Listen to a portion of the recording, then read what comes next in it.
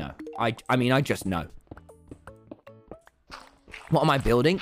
I mean, this hole will freak everyone out. Because I was saying to Tubbo, what should I do today, man? Like, I need to, I need to get revenge. And they were like, well, dude, just build a big hole. And then I go, yeah, because then people have to put bridges over it, and it'll freak everyone out. And we'll, we'll, we'll discover